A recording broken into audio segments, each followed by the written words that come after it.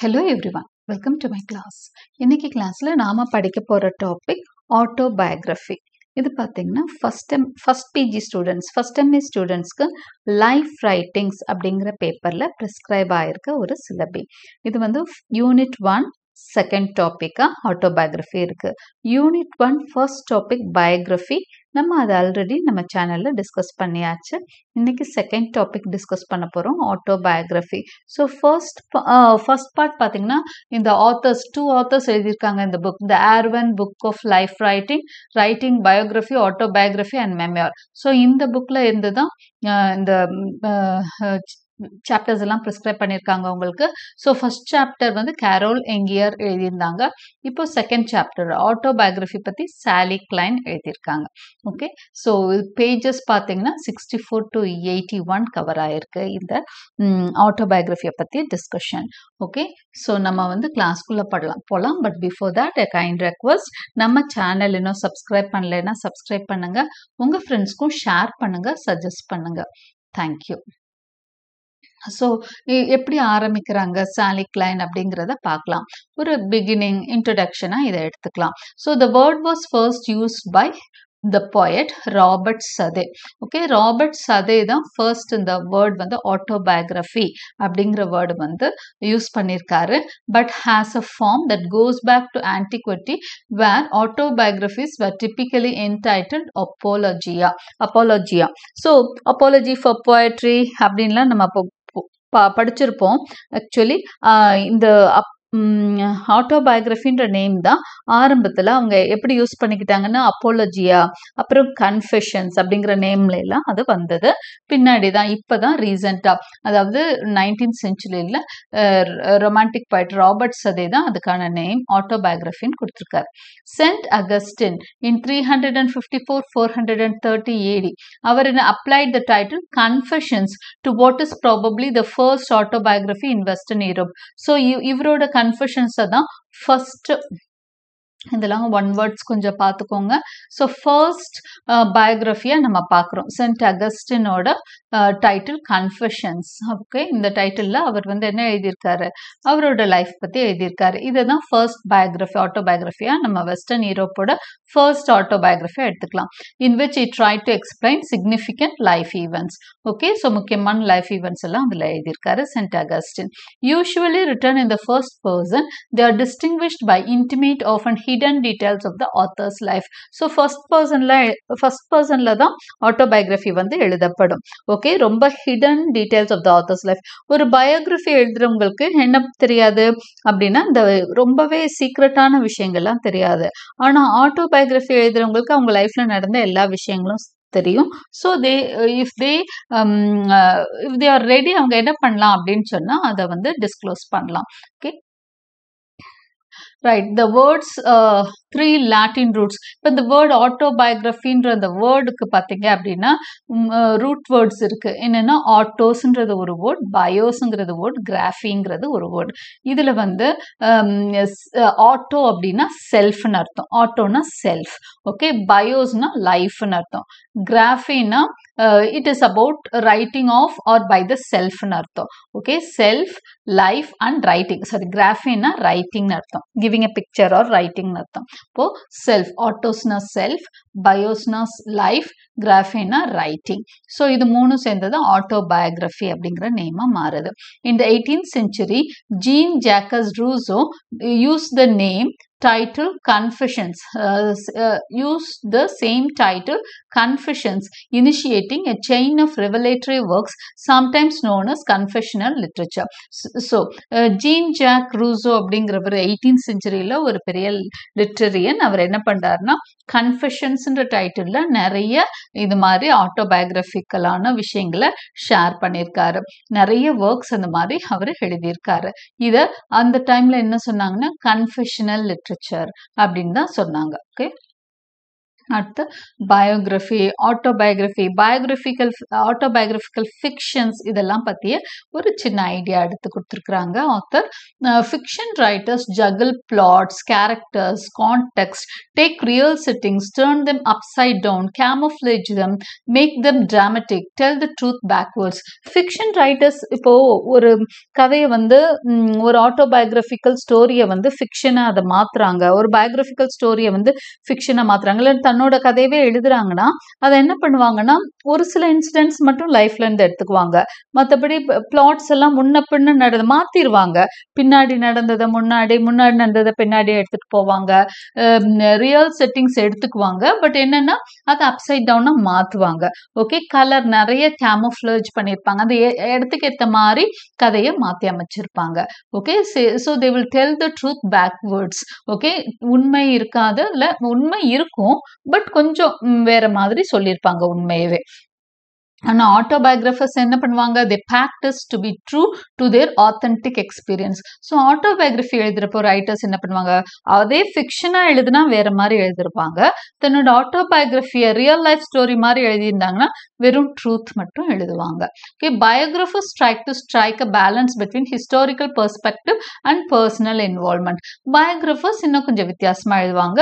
பயோகிராஃபர்ஸ் choose detachment அவங்களுக்கு வந்து இப்போ ஆட்டோபயோகிராஃபி எழுதுறவங்களுக்கு என்ன பண்ண தோணும் தன்னோட லைஃப்பை கொஞ்சம் கலர் பண்ணும். ஒரு சில விஷயங்கள் சொல்லுவாங்க சொல்ல மாட்டாங்க. ஆனா பயோகிராஃபி எழுதுறவங்க என்ன பண்ணுவாங்க? அவங்கள பத்தி எல்லா டீட்டெயில்ஸும் கலெக்ட் பண்ணி எழுதுறப்போ அவங்களுக்கு என்னெல்லாம் தெரியுதோ ஹிஸ்டாரிக்கலாக என்னென்னலாம் அவங்கள பற்றிய நினைவுகள் இருக்கோ மற்றவங்க மத்தவங்க கிட்ட இருந்து அவங்களுக்கு கிடைக்கிற விஷயங்கள் எல்லாத்தையுமே எழுதுவாங்க. ஏன்னா அவங்களுக்கு ஒரு டிட்டாச்மெண்ட் இருக்கும். ஓகே எழுதுறவங்க மேல ஒரு பெரிய பிடிப்பெல்லாம் இருக்காது. ஸோ அவங்க என்ன பண்ணுவாங்க? டிட்டாச்டு ரைட்டிங் நம்ம பார்க்கலாம். ஸோ இதுதான் வந்து டிஃப்ரென்ஸ் இது வந்து ஃபிக்ஷன் அப்படின்னு சொல்றதை விட ஆட்டோபயோகிராஃபிக்கல் ஃபிக்ஷன்ஸ் தான் இது. ஓகே ஆட்டோபயோகிராஃபி மாதிரி இருக்கும் ஆனால் ஃபிக்ஷன்ஸ் ஓகே ஃபிக்ஷன் கலந்து இருக்கும் லைஃபோட லைஃப்பும் இருக்கும் அதாவது நிறைய ஆஸ்பெக்ட் ஃப்ரம் த லைஃப்பும் இருக்கும். அட் த சேம் டைம் அவங்க என்ன பண்ணுவாங்க அப்படின்னா autobiographical fictions okay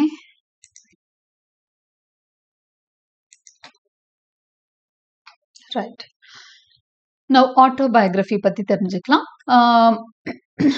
autobiographers want a sense of intimacy with the past ஆட்டோபயோகிராஃபினா என்ன? ஒரு பாஸ்ட் பத்தி எழுத போறாங்க. ஏன்னா நடக்கிறத பத்தி எழுத போறதுல எந்த ஒரு ஆட்டோபயோகிராஃபரும் இப்போ ஃபார் எக்ஸாம்பிள் இன்னும் ஒரு டுவெண்ட்டி இயர்ஸ் டுவெண்ட்டி ஃபைவ் பெரிய அச்சீவ் பண்றதுக்கு முத கூட இப்போ ஆயா மலாலான்னு எழுதியிருப்பாங்க. அவங்களாம் டுவெண்ட்டி இயர்ஸ் அரௌண்ட்லேயே எழுதிட்டாங்க. இல்லையா? யூசுப் ஜாய் மலாலான்னு சொல்லிட்டு ஒரு பாகிஸ்தானி அவங்களாம் எழுதியிருப்பாங்க. வெரி யங் ஏஜ்ல எழுதிட்டாங்க. இனிமேட் நடக்கிறத அவங்க எப்படி எழுத முடியும்? ஸோ பாஸ்ட் பாஸ்டோட அந்த இன்டிமசியை தான் அவங்க எழுத முடியும். To write autobiography we need curiosity to unravel patterns in our lives அப்போ ஆட்டோபயோகிராஃபி எழுதுறப்போ ஒரு நம்மளோட லைஃப்பை பத்தியே நம்மளுக்கு ஒரு கியூரியாசிட்டி வரணும். நம்ம ஏன் அப்படியெல்லாம் செஞ்சோம் அப்படின்ற மாதிரி. Okay we also need courage choosing to write about our selves means that we have to come to terms with our own feelings of vulnerability and responsibility we need courage to expose certain things உன் லைஃப்ல நடந்த விஷயங்கள் உண்மையாக நடந்த விஷயங்கள் நிறைய எப்படி இருக்கும் அப்படின்னு சொன்னா we cannot expose it we cannot reveal it to every one okay so அந்த விஷயங்களை ரிவீல் பண்றதுக்கான தைரியம் உங்களுக்கு வேணும். Okay so we need courage telling how it is for you won't work unless it appears to be based on essential psychological truth okay அது அது psychological truth உனக்கு எந்த அளவுக்கு அது ஃபீல் பண்ணீங்க அப்படிங்கிறதையும் நீங்க எழுதணும். But that it has to be balanced against a sense of responsibility to other people உங்களுக்கு மட்டும் ஒரு ஒர்க் ஆகுற ஒரு விஷயங்களை நீங்க எழுதக்கூடாது. ஸோ ஆட்டோபயோகிராஃபியோட நோஷன் என்ன அப்படின்னு சொன்னா it should influence other peoples other peoples life இல்லைன்னா it should inspire others okay so அதுதான். ஒரு ஒரு um, யங்க ஒரு மோட்டிவேட் பண்ணுற மாதிரி இருக்கணும்.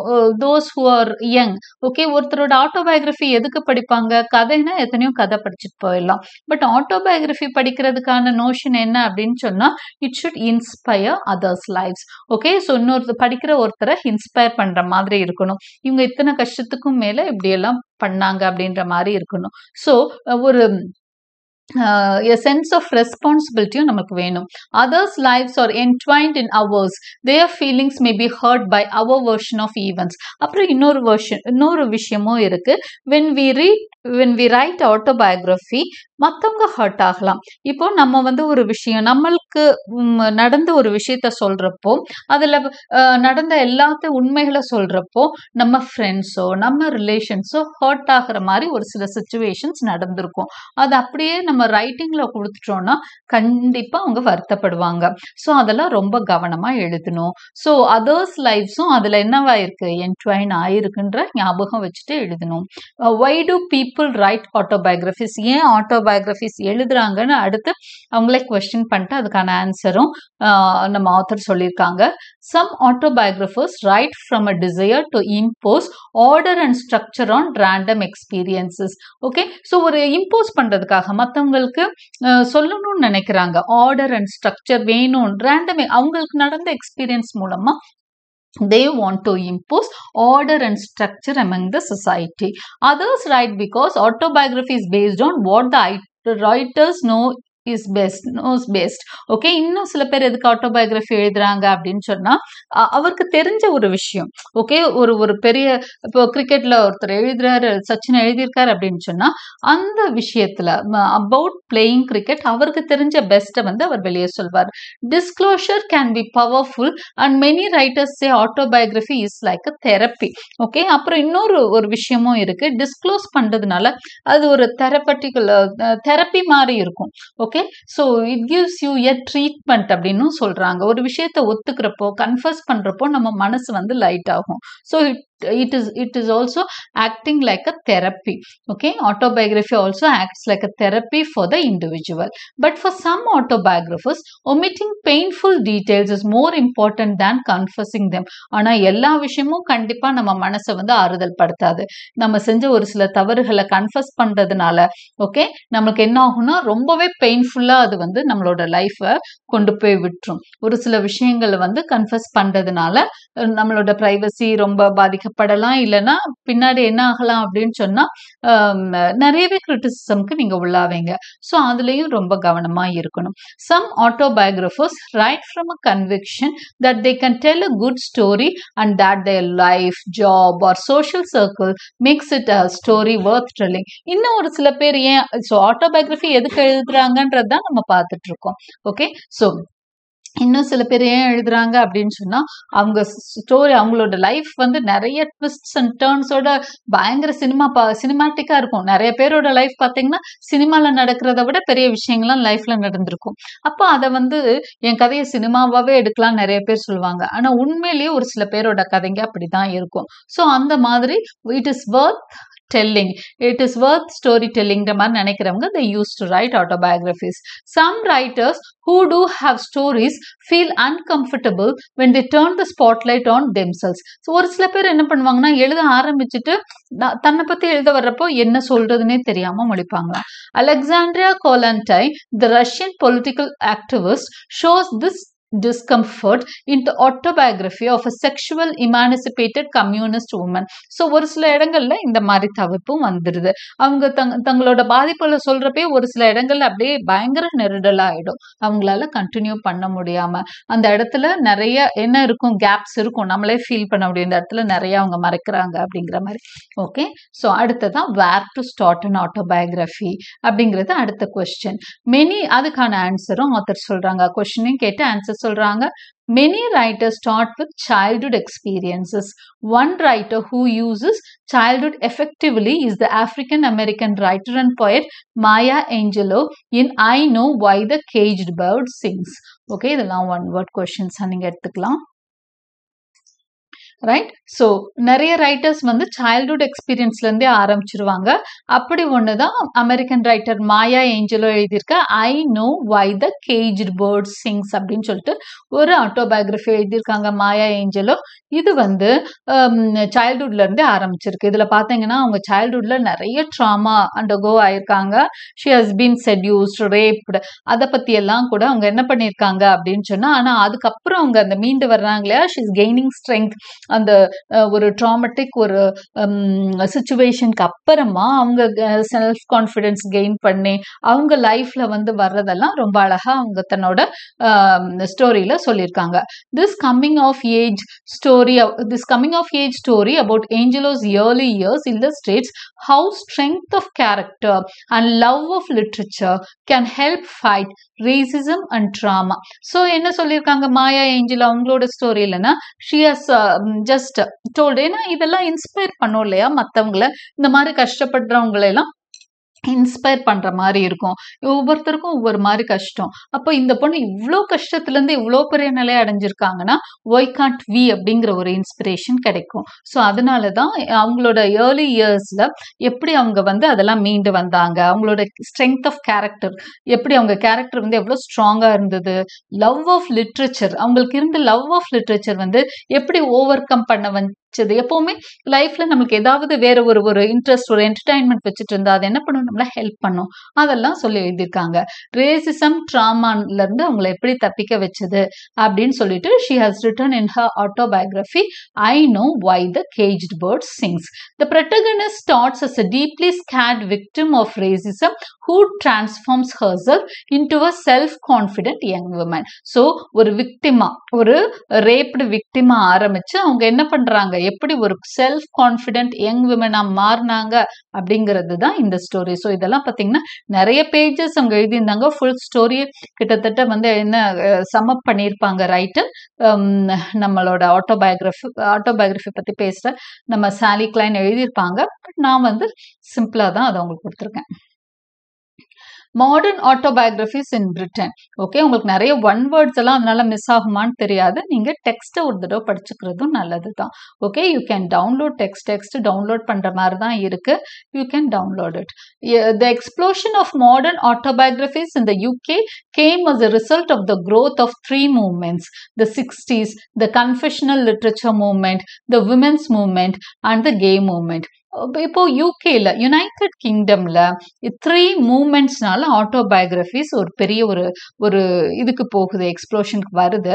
எது எது அப்படின்னு சொன்னா கன்ஃபெஷனல் லிட்ரேச்சர் மூமெண்ட்னு ஒரு மூமெண்ட் அடுத்ததா விமென்ஸ் மூமெண்ட் இது செவன்டிஸ் எயிட்டிஸ்ல வருது. அடுத்ததா கே கன்ஃபெஷனல் லிட்ரேச்சர் மூமெண்ட் கொஞ்சம் பழசு. அடுத்ததா விமென்ஸ் மூமெண்ட் வந்து நைன்டீன் செவன்டிஸ் எயிட்டிஸ்ல அடுத்தது கே மூமெண்ட் வந்து செவன்டிஸ் எயிட்டிஸ் இது மூலமா மாடர்ன் ஆட்டோபயோகிராஃபி யூகேல டெவலப் ஆகுது. These intense hidden experiences led to outpourings about incest, violence against women and homophobic abuse. So இது எல்லாமே நம்ம வந்து um, நம்ம வந்து பார்க்க முடியுது. ஹிடன் எக்ஸ்பீரியன்ஸ் எல்லாமே இது மூலமா. இந்த இந்த மூமெண்ட்ஸ்னால என்ன ஆகுது அப்படின்னு சொன்னா நிறைய பேர் அவங்களோட மீட்டு மாதிரி நிறைய அவங்க மனசுக்குள்ள இருக்க பிரச்சனைகளை எல்லாம் வெளியே கொட்ட ஆரம்பிக்கிறாங்க. இந்த மூமெண்ட்ஸ்க்கு அப்புறம் நிறைய ஹிடன் எக்ஸ்பீரியன்ஸ் அவுட் போரிங்ஸா வெளியே வருது. Confessionalist literature in the 60s was a literary movement in which the dominant feature was the use of the writer's most exp- extreme life experience as literary material. Okay, confessionalist literature அப்படிங்கிறது வந்து um, um, இ- இ- இதுதான் first வந்தது. சிக்ஸ்டீஸ்லயே வந்திருக்குன்னு சொல்றாங்க. இந்த moment வந்து என்ன பண்ணுது அப்படின்னு சொன்னா லைஃப் எக்ஸ்பீரியன்ஸை லிட்டரி மெட்டீரியலா வச்சுக்கிட்டு அதை எழுதுறாங்க. அதாவது தங்களோட லைஃப்ல நடந்த விஷயங்களை ஒரு கதையாக கதையா எடுத்துக்கிட்டு ஒரு ஒரு அவுட்லைனா எடுத்துட்டு லிட்டரி மெட்டீரியலா எடுத்துட்டு எழுத ஆரம்பிக்கிறதான் confessionalist literature autobiographies in UK once the the of the the white male middle class authors authors include many fine feminist feminist black and gay autobiographies. யூகேல ஆட்டோபயோகிராஃபி பார்த்தீங்க அப்படின்னு சொன்னா ஆரம்பத்தில் once the testimonies of straight white male middle class அத்தஸா இருந்தாங்களாம் okay அவங்க இப்ப எப்படி மாறிட்டாங்க நிறைய பிளாக் ஃபெமினிஸ்டும் கே ஆட்டோபயோகிராஃபர்ஸும் நிறைய யூகேல வர ஆரம்பிச்சிட்டாங்க autobiographical theory was similarly discriminatory under under Julia Swindells research team began to redress the balance in a pioneering study the uses of autobiography in nineteen ninety five okay அடுத்ததான் autobiography in USA. So we are going into the next topic. Autobiography in USA has developed from a non-literary form of record keeping to its current literary form, characterized by a mixture of fiction and non-fiction in the colonial period. Autobiographers uh, Yes, autobiography in USA has developed from a non-literary form. okay autobiography யூஎஸ்ஏல பார்த்தீங்கன்னா அது ஒரு literary ஃபார்மாலாம் அது develop ஆகலை. Okay record கீப்பிங்காக தான் இருந்தது. ஒவ்வொருத்தவங்களும் என்ன பண்ணாங்க? இது இது நடந்ததுன்னு டைரியில் ரெக்கார்ட் எழுதுவாங்களோ அது மாதிரி தான் இருந்தது. அதில் இருந்து தான் இன்னைக்கு இருக்க லிட்ரரி ஃபார்முக்கு அது டெவலப் ஆச்சு. ஃபிக்ஷனையும் நான் ஃபிக்ஷன் அப்போ அந்த ரெக்கார்ட்ஸை வச்சு என்ன பண்ணுறாங்க அப்படின்னு சொன்னால் கொஞ்சம் நான் ஃபிக்ஷன் கொஞ்சம் அதாவது நான் ஃபிக்ஷன்னா அவங்களோட ரியல் லைஃபாக இருக்கும். ஃபிக்ஷன் அப்படின்னா கொஞ்சம் கற்பனையும் கலந்து அவங்க எழுதியிருப்பாங்க okay right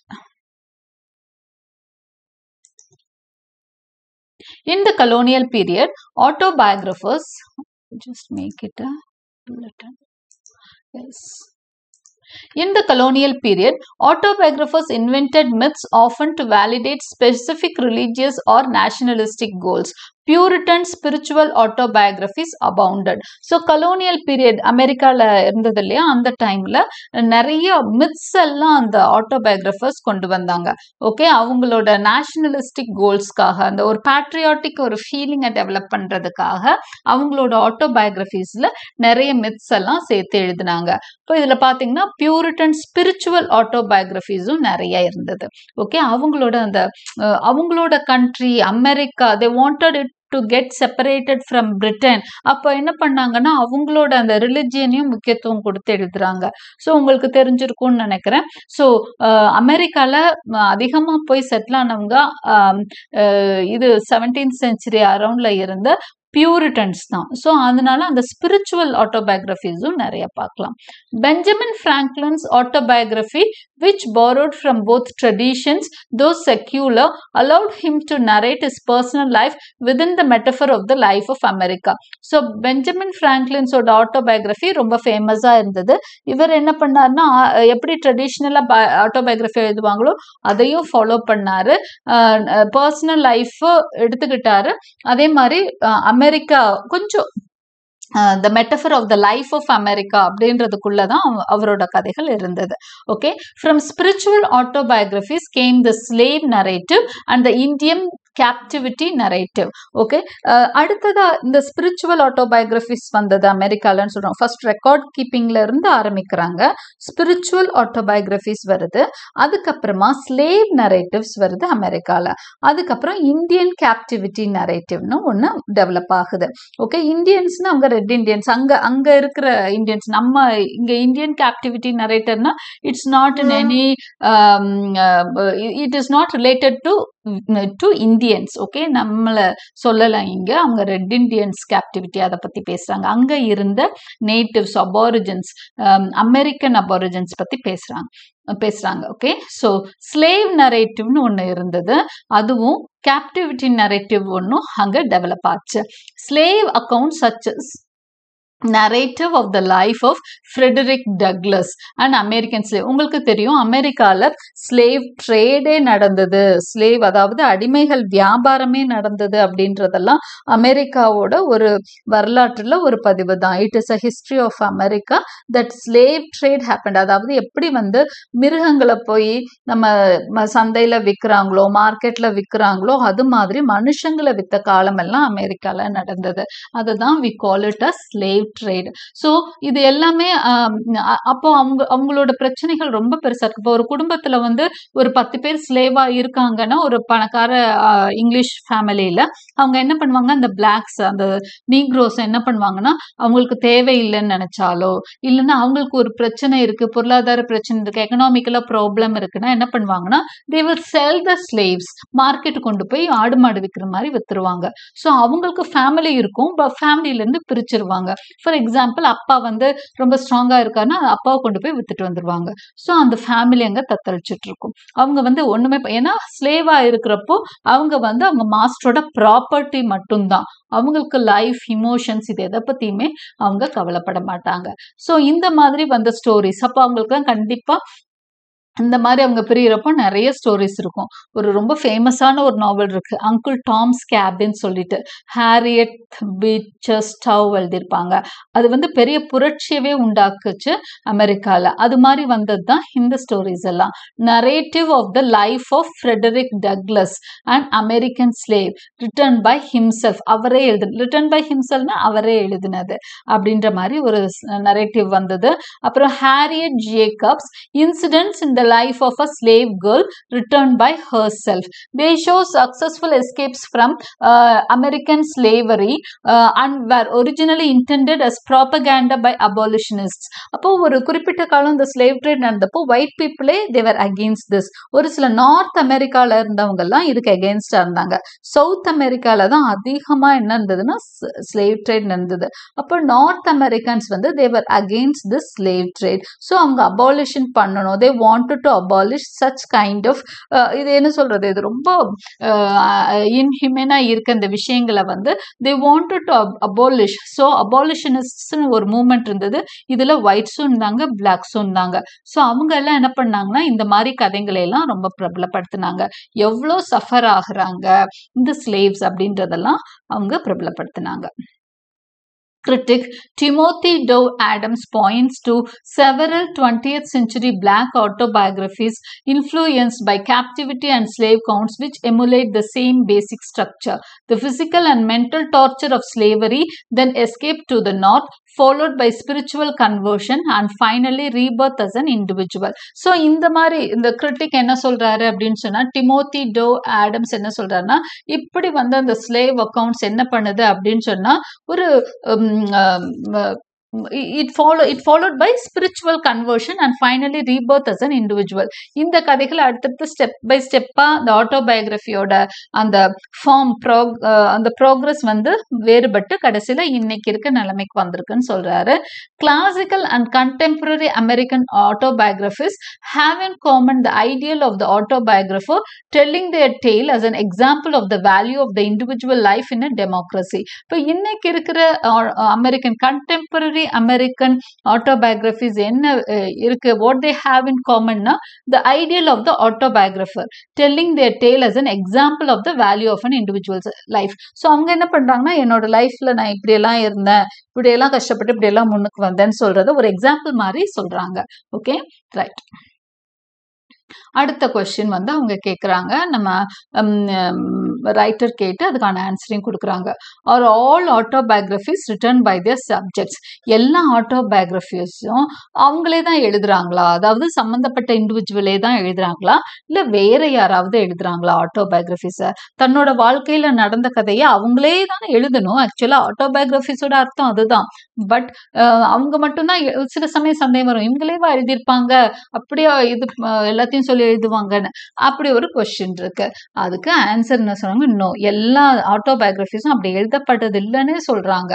Some autobiographies are based on interviews with a professional writer either when subjects are alive or even after death சில ஆட்டோபயோகிராஃபிஸ் எல்லாம் அதாவது பயோகிராஃபினா வெ வெளியில இருந்து கலெக்ட் பண்ணி அந்த ஆத்தர்ட்டையும் கேட்டு எழுதி அந்த இண்டிவிஜுவல்ட்டையும் கேட்டு எழுதியிருப்பாங்க. இப்போ இந்த ஆட்டோபயோகிராஃபிஸ்ல என்ன நடக்குது அப்படின்னு சொன்னா சில இன்டர்வியூஸ் எடுத்திருப்பாங்க. யாரு அப்படின்னு சொன்னா கூடவே டிராவல் பண்ணி ஒரு சில இன்டர்வியூஸ் எடுத்திருப்பாங்க. ரைட்டர்ஸா இருப்பாங்க. அவங்க என்ன பண்ணுவாங்கன்னா ஒருத்தரை பத்தியே ஃபுல் இன்டர்வியூ கேதர் பண்ண அவங்களோட ஏர்லி லைஃப்ல இருந்து இன்னைக்கு வரைக்கும் ஒரு பெரிய ஒரு பிரபலமான ஒருத்தரை பத்தி ஃபுல்லா டீட்டெயில்ஸ் கலெக்ட் பண்ணியிருப்பாங்க. இப்போ அப்படிப்பட்டவங்க என்ன பண்றாங்கன்னா ஆட்டோபயோகிராஃபிஸ் எழுதுறாங்க. உயிரோடு இருக்கிறப்பவே அவங்களோட பெர்மிஷன் வாங்கிட்டு எழுதுறாங்க. ஆட்டோபயோகிராஃபின்னு சொல்லி எழுதுறாங்க. இல்லைன்னா ஆஃப்டர் த டெத் எழுதுறாங்க. The autobiography of Malcolm X was published in six nineteen sixty five அப்படி வந்தது தான் the autobiography of Malcolm X okay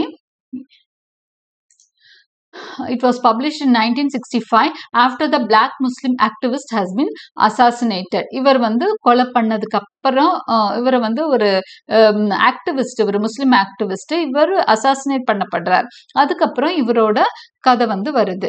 autobiography வருது. His collaborator journalist Alex Haley based the book on Haley stepped interviews during the years nineteen sixty three to nineteen sixty five இப்போ ஒரு journalist அவர் கூட வந்து travel பண்றாரு. அவரை பத்தி நிறைய விஷயங்கள் சேகரிச்சு வச்சிருக்கிறாரு. நிறைய டேப்டு இன்டர்வியூஸ் முந்தி இருக்கும் இல்லையா? இந்த சிக்ஸ்டீஸ் டைம்ல எல்லாம் ரெக்கார்ட் போட்டு டேப்ல ரெக்கார்ட் பண்ணி வச்சுப்பாங்க.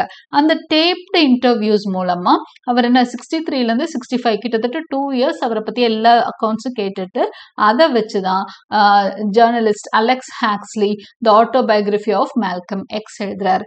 ஆனா ஆஃப்டர் ஹிஸ் டெத் தான் அது பப்ளிஷ் ஆகுது. ஓகே ஸோ இன்னைக்கு கூட பார்க்கலாம். வீரப்பன் பற்றிய கதைகள்லாம் நிறைய ஜேர்னலிஸ்ட் எழு இது கேட்டுட்டு எழுதியிருப்பாங்க. அவரோட சொந்த கதை மாதிரி. ஓகே.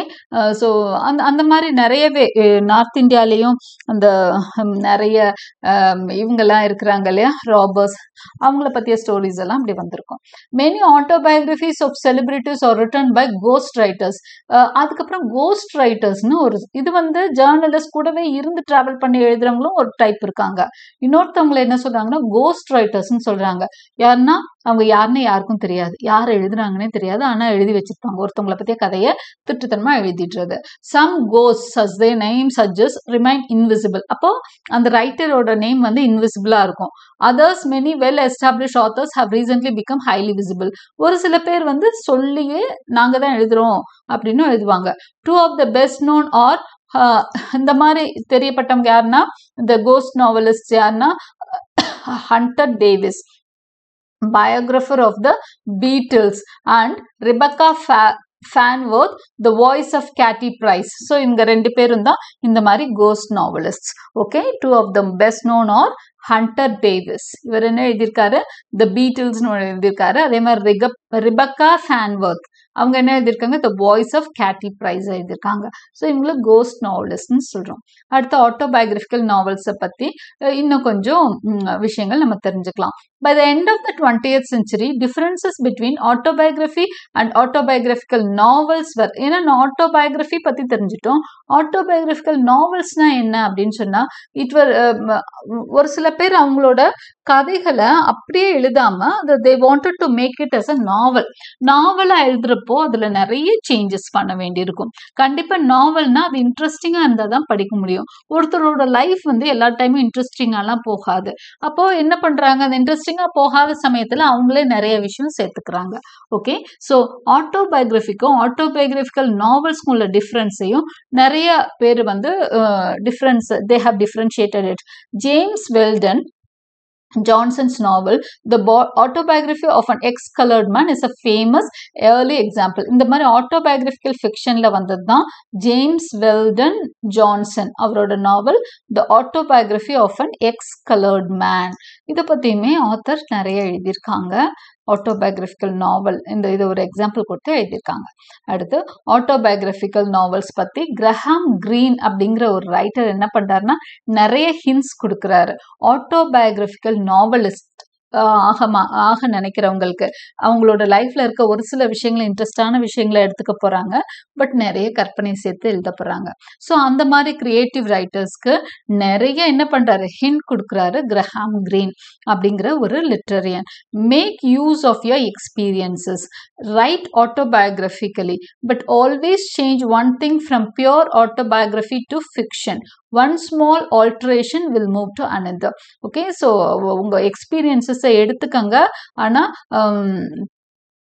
பியோர் ஆட்டோபயோகிராஃபியாக வேண்டாம். You can change it to ஃபிக்ஷன்ற மாதிரி எழுதியிருக்காரு.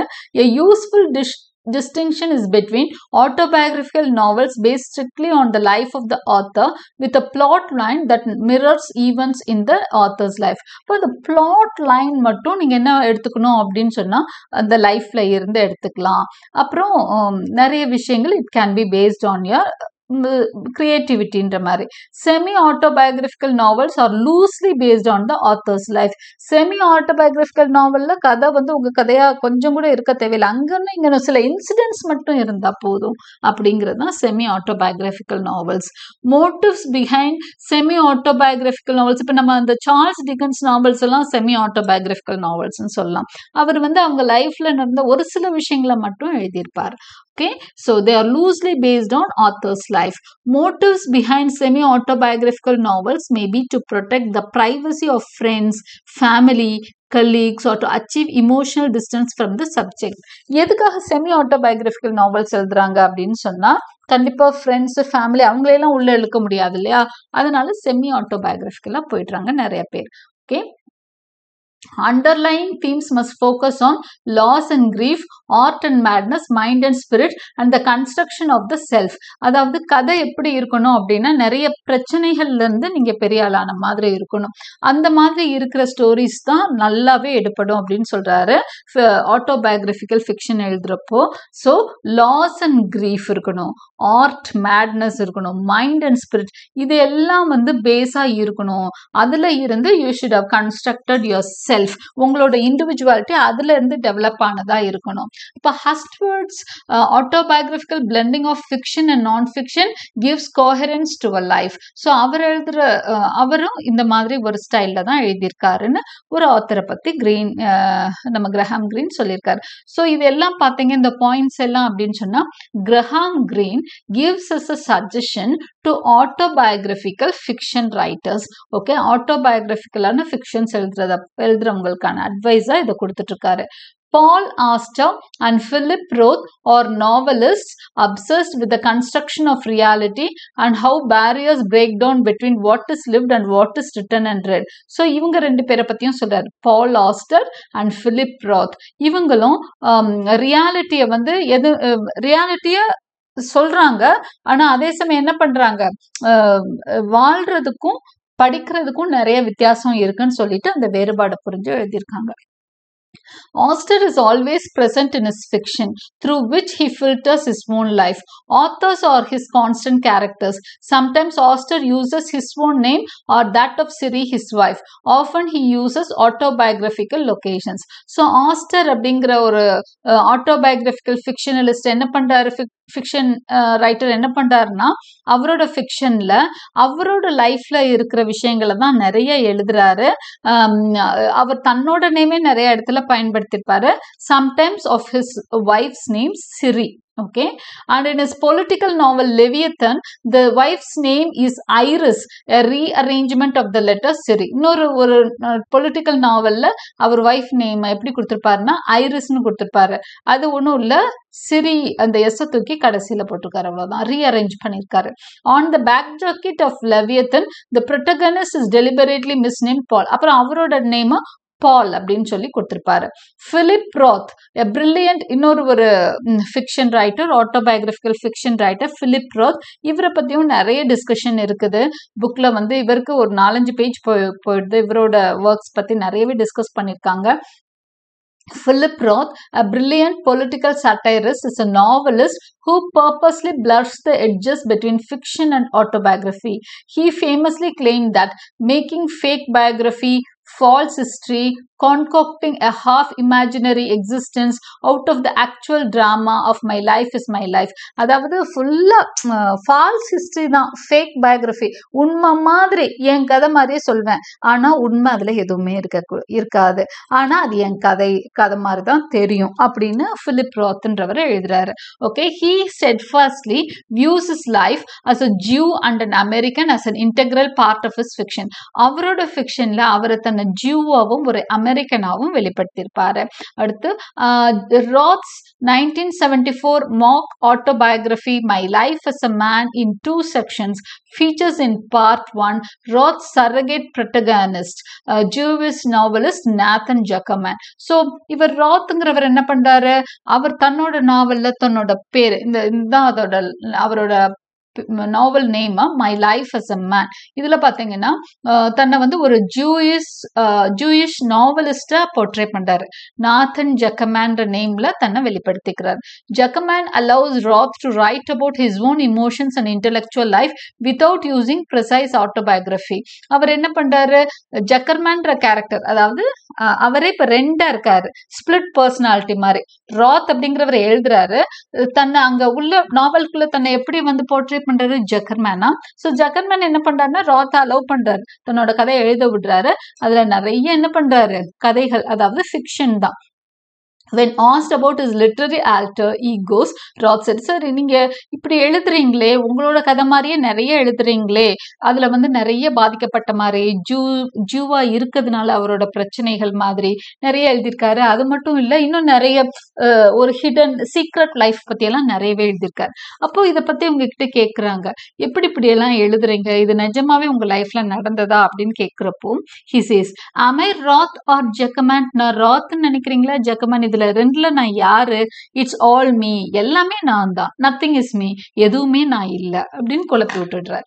ஓகே இதுல எழுதியிருக்க எல்லாமே நான் தான் ஆனா எதுவுமே நான் இல்ல அப்படின்னு சொல்றாரு. Okay so that is autobiographical ஃபிக்ஷன்ங்கிறது இப்படிதான். எப்படின்னா அவங்கள பத்தி சொல்ற மாதிரியே இருக்கும். ஆனா அது உண்மை கிடையாது. ஆனா சுத்தமா உண்மை இல்லைன்னு சொல்ல முடியாது. இந்த மாதிரி ஒரு கன்ஃபியூஸ் ஸ்டேஜ்ல தான் ஆட்டோபயோகிராபிக்கல் ஃபிக்ஷன் இருக்கும். இன் நைன்டீன் நைன்டி இப்போ அதை பத்தி சொல்றதுக்காக அவரோட லைஃப்பை பற்றியும் ஒரு சில ஈவெண்ட்ஸ் சொல்லியிருக்காங்க. In nineteen ninety Roth married the British actress Claire Bloom who had been his companion since the seventies so Roth வந்து ஒரு ஆக்ட்ரஸை மேரேஜ் பண்ணிக்கிறார்.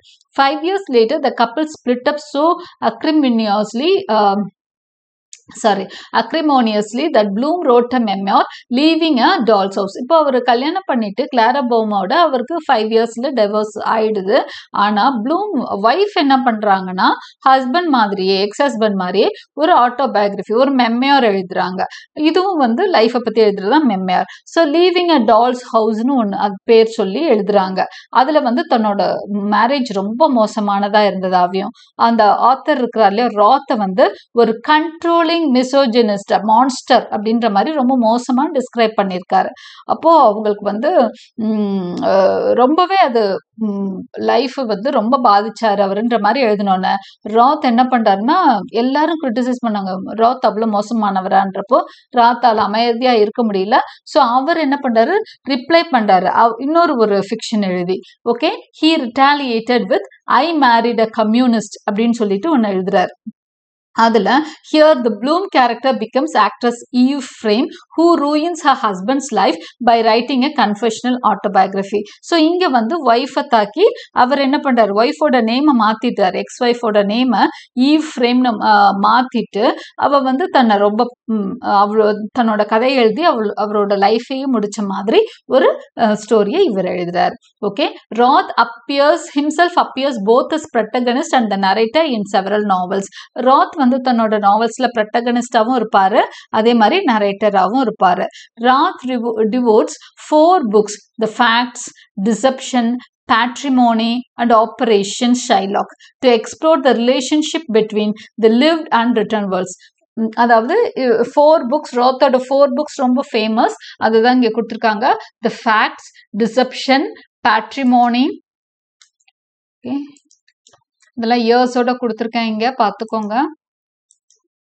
இதெல்லாம் ராத்தோட இம்பார்ட்டண்ட்டான books operation Shylock okay so to explore the relationship between இந்த li- இந்த stories fictionalised இந்த ஆட்டோபயோகிராஃபிஸ் நம்ம என்ன தெரிஞ்சுக்கலாம்னா வாழ்றது ஒரு வாழ்க்கை ரிட்டர்ன் வேர்ல்டுக்கும் அதுக்கும் கொஞ்சம் இது இருக்காது ரொம்பவே ரிலேஷன் இருக்காதுன்ற மாதிரி தான் it is fact and fiction தான். அதாவது உண்மையும் இருக்கும் பொய்யும் கலந்து தான் இருக்கும்.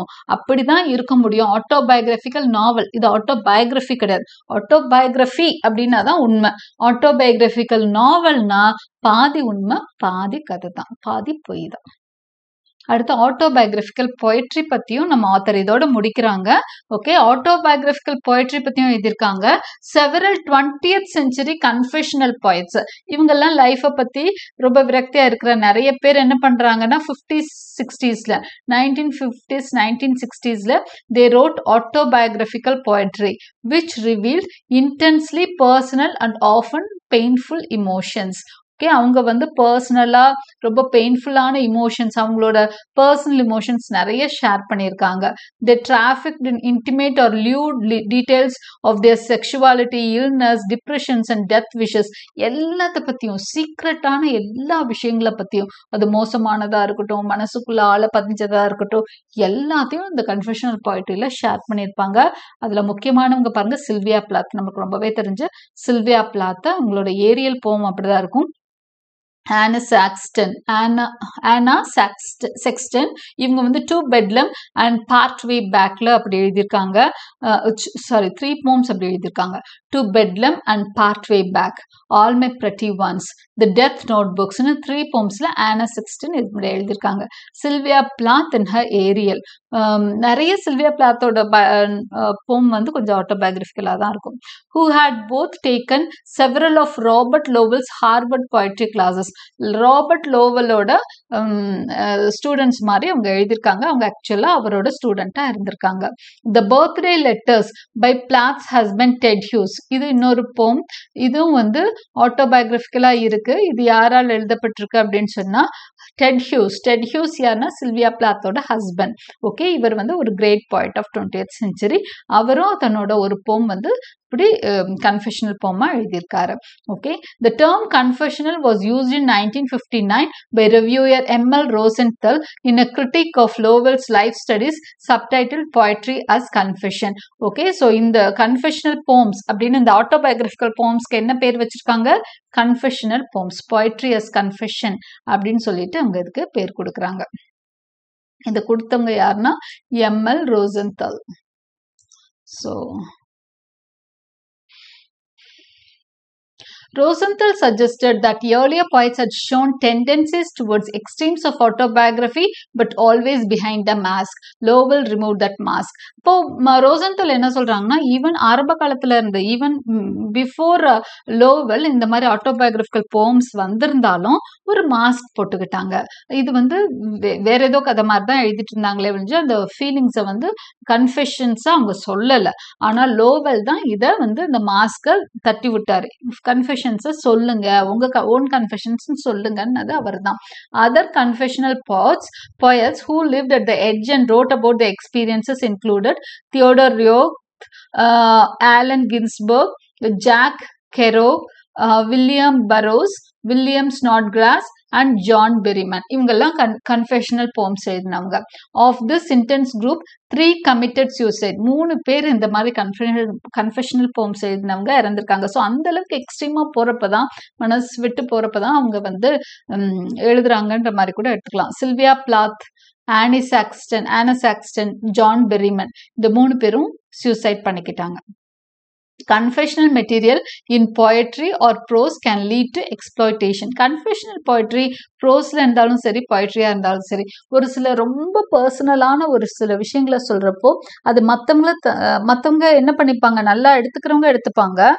சில பேர் அதுக்கு கோவப்படுவாங்க சில பேர் அதை வச்சு உங்களை எக்ஸ்ப்ளாய்ட் பண்ணவும் நினைப்பாங்க அப்படின்னு சொல்கிறாங்க writers often say this is due to the splinter of ice in every writers so okay இது அடுத்து என்ன நடக்குதுன்னு ஒரு தெரிஞ்சுக்கிறதுக்காக ஆசைப்படுறப்போ என்னன்னு இதெல்லாம் எழுதுனாங்க பட் வாட் ஹேப்பன்ஸ் அப்படின்னா அவங்களோட லைஃபே வந்து சிலப்போ எக்ஸ்ப்ளாய்ட் பண்ணப்படுது. அதனால கூட அந்த சூசைட்ஸ் எல்லாம் நடத்திருக்கலான்ற மாதிரி சொல்றாங்க. Okay so this is about autobiographical poetry autobiographical போய்ட்ரியோட she concludes the topic autobiography author வந்து கன்க்ளூட் பண்றாங்க. I hope you like my explanations like and subscribe my channel for more such videos press the bell icon for continuous notifications and thank you for வாட்சிங்